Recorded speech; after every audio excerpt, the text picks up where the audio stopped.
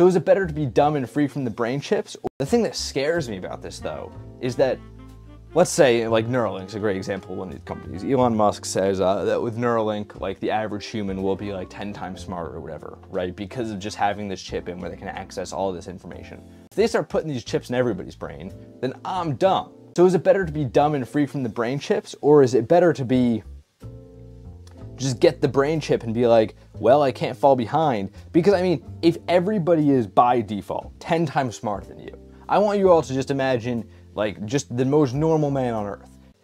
Like you will legitimately be treated as like an outcast to society.